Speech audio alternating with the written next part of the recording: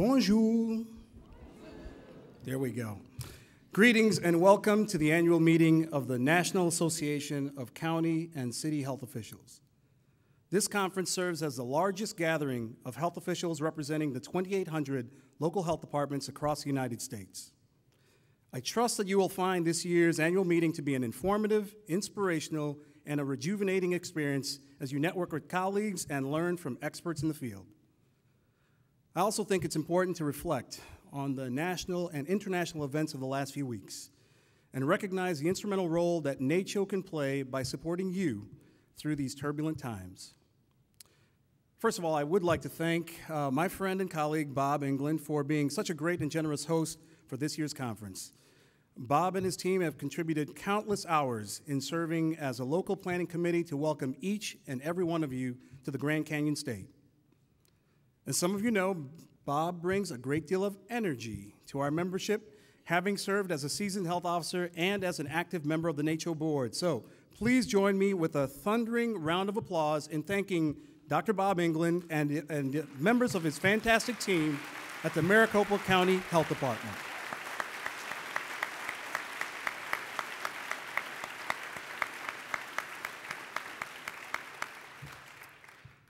Thank you.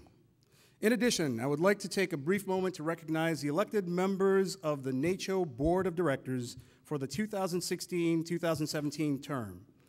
As some of you may know, NACCHO is governed by a 27-member board comprised of health officials from around the country elected by their peers that include a mix of regional and at-large seats to provide the perspective of local health departments based on population size and geography.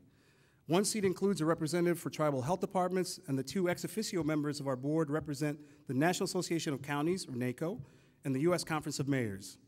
So, if you currently serve as a member of this esteemed body or have served in this capacity in the past, please stand at this time so that we can acknowledge you and thank you for your tremendous service on behalf of our community of local health officials. Please stand. Members of the board, past members of the board. All right, I see you. I know you.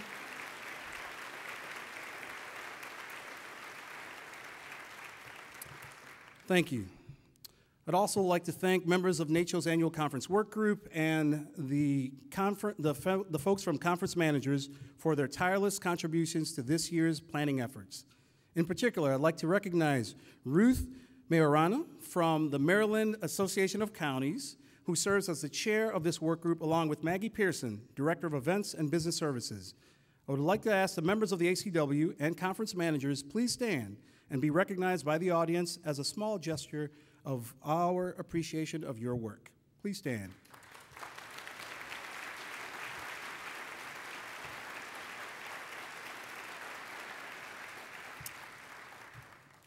Thank you.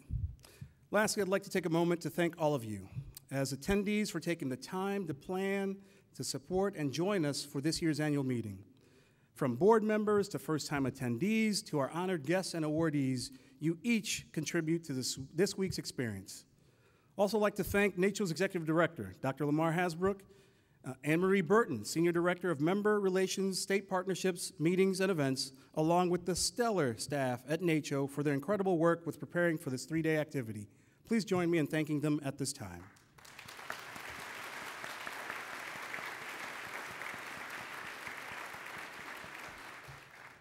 I'd like to acknowledge one individual who has been a quiet storm in his own right, and many of you know him, and, a, and send a special shout out to Richard Hofrichter for his years of overseeing the invaluable work on health equity and social justice at NACCHO. He has authored numerous articles and books on this topic, and over the last 22 years, Richard has been instrumental with supporting the work of the Health Equity and Social Justice Committee, which is a voluntary body that helped to shepherd much of this work behind the scenes. Please join me in thanking Richard at this time.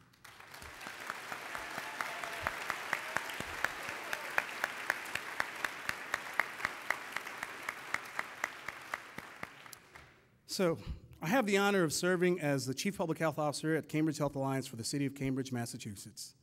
In this capacity, I lead a phenomenal team at a medium sized local health department. Uh, we serve a jurisdiction of over 100,000 folks, and as I reflect on my public health journey and the significance of the theme for this year's conference, I want to take a brief moment and share a little bit about my background and why NACCHO is my professional association. I was born in the Buckeye State in Toledo, Ohio, and spent most of my formative years in the Chicagoland area. I know, I know, we've got some Buckeyes in the house, I understand. Even though I went to a different Big Ten school, but we'll talk about that in a minute. My college and graduate experiences occurred in Illinois, where I met my wife, who is here with me today along with other members of my family. I'm a first generation Haitian American. My parents immigrated to the US in the 1960s prior to returning to Haiti to practice medicine and nursing, respectively. As a result, I had the experience of living on the island for a few years and speak French and Haitian Creole. I'm the eldest of four siblings and was inducted into my high school Hall of Fame for my academic as well as athletic accomplishments in football and track and field. Unfortunately, an injury derailed my prospects of playing sports at the collegiate level, yet, little did I realize that this life changing experience would set me on this course to serve as a local health official. Prior to my current role at the Cambridge Public Health Department, as you heard, I served as a deputy director at the Office of Health Promotion, the Illinois Department of Public Health, also served as a bureau chief at the Baltimore City Health Department through 9 11, and started my public health career as the director of community affairs on the west side of Chicago at the Sinai Health System. These varied experiences have shaped my lens around the systems that impact the health of populations across race, class, religion, sexual orientation, and disability. When I arrived in Cambridge nearly a decade ago, I was encouraged by mentors and colleagues to become an active member in NACCHO. So I joined one of the work groups which focused on leadership and workforce development for new local health officials. The Survive and Thrive program gave me insights about the needs of our evolving public health workforce and the competencies needed to succeed as leaders in the health services. I've had the opportunity to represent NACCHO on national work groups and advisories. I've presented at this annual meeting and have served on the, as an elected member of the board since 2010. In short, I've taken the advice to heart, and it is indeed a great honor to serve as president for the association for the coming term. Also, I think it's important to reflect on the significance of our gathering here this week and the role that NACCHO plays as your national membership association. So, the Unity Clap that you participated in earlier was one activity to help us connect as a body while we're preparing for this shared experience in the coming days. The work of our membership association creates linkages that set the standards of our profession, represent our profession, improve our profession, and safeguard our interests. To be a local health official today is to feel a range of complex emotions about our work, our communities, and our futures together. Conferences such as this one allow us to address health, equity, and security in our communities. NACCHO's mission is to be a leader, partner, catalyst, and voice for local health departments in order to ensure the conditions that promote health and equity, combat disease, and improve the quality and length of all lives.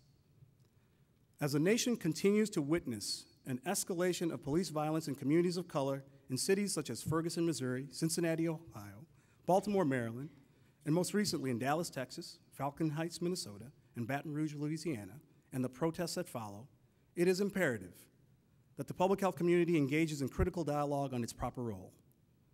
NACCHO has a long standing policy recognizing intentional injury or violence as a public health issue and calls on local health departments to work to protect and improve community safety in coordination and collaboration with local, state, no, uh, local, state, and national partners.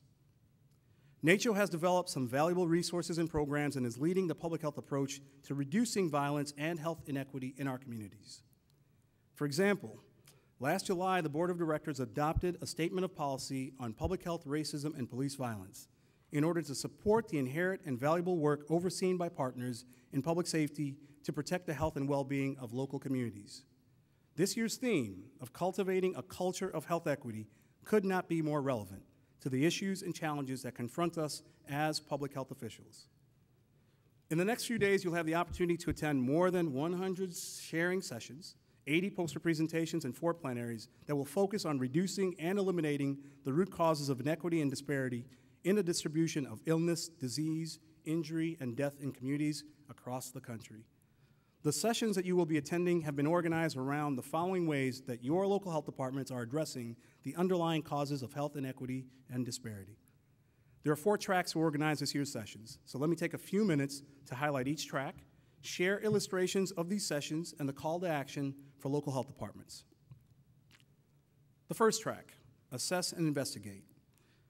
In this day and age, local health departments need to assess and interpret information in a timely fashion in order to make evidence-based decisions that meet the needs of our communities. This track will focus on the collection and analysis of data and decision patterns that lead to poor health outcomes or conditions that disproportionately affects a group. NACCHO encourages local health departments to frame the prevalence of police violence and the threat of violence in all communities as a public health issue associated with a legacy of social, economic, and racial injustice in urgent need of both nationwide and local public health and community result, response. As a result, health departments are called upon to be proactive and partner with federal, state, and local law enforcement in order to obtain more complete information about death rates, firearm-related deaths, and overall rates of arrest and violence. Further, health departments are asked to track, analyze, and disseminate accurate data about death rates that measure the health of our communities. The second track, building relationships and alliances. Long gone are the days when health departments could work in isolation and remain in their own regulatory silos. Today, local health departments must make strategic alliances with non-traditional partners and stakeholders that hold the power, influence, and resources to accomplish real change in the reduction of health disparities or inequities. The sessions in this track will focus on how to build a broad public base of support and constituencies that contribute knowledge, connections, and resources to further the cause of improved health and equity for all. To that end, NACCHO calls on local health departments to build strong relations with local law enforcement, social, social service agencies, and other agencies of government, and community-based organizations to end the unjust and discriminatory burden of violence and threat of violence primarily against African Americans as well as people of color more generally. NACCHO further encourages local health departments to initiate and lead efforts to build strong ties between local government and communities focusing on health equity. The third track, shifting public awareness and consciousness, which calls on local health departments to provide compelling stories, language, and shared understandings that increase awareness, shifts consciousness, and moves public health practice to ensure health and well-being. With this in mind, NACCHO urges local health departments to explore and communicate how the anticipation and long-term effects of violence and daily intimidation increase toxic stress that severely harms the health of families and whole communities. These factors may be exacerbated by acute episodes that bring to light the issues that impact the quality of life of residents. Our closing plenary on Thursday brings together thought leaders who will examine the long-term impact of policies and practices that have uh, over time uh, that have been in place over time, such as hazardous waste, landfills, environmental poisonings, and dispossessions. The final track, Transforming Locals from Within, will focus on strategies to show up on the internal infrastructure that enable local health departments to remain key public health leaders in their communities. Local health departments aim to develop a strong, functional, and effective operational infrastructure that is nimble and viable to carry out this work. So NACCHO, through its health equity programs and work groups, seeks to strengthen local health departments' capacity as they confront the root causes of health inequity through principles of social justice in everyday practice beyond mitigating the consequences. So the work around the PBS documentary series, Unnatural Causes, is Inequality Making Us Sick? You remember that was released in 2007? The Raising of America documentary, released last year, and The Roots of Health Inequity, which is a web-based course made available to all of our members. These are just a few examples of NACCHO's commitment to its members and the products that have been made available to support your work in communities. So, this year marks my 10th NACCHO annual meeting since the first conference that I attended in Columbus, Ohio in 2007. I was impressed by the caliber of the scientific sessions, the genuine spirit of collaboration and networking opportunities, and the space to navigate as a newcomer to the community of local health officers. I applaud the board of directors for taking a stand on public health and the unjustified use of force while recognizing the importance of modernizing our public health practice by upgrading to Public Health 3.0 in order to build the fabric of our shared communities. I encourage you to make the most of your conference experience this week. Try to connect with at least one new person each day and carry the shared learning forward. we have a unique opportunity to cultivate a culture of equity by bringing attention to the disproportionate burdens that impact our communities while applying the tools made available through NACCHO and our partners. So on behalf of the Board of Directors for the National Association of County and City Health Officials, I look forward to joining you over the course of the week and the season ahead. Your time here will prove to be an invaluable experience, so let's make it a great conference.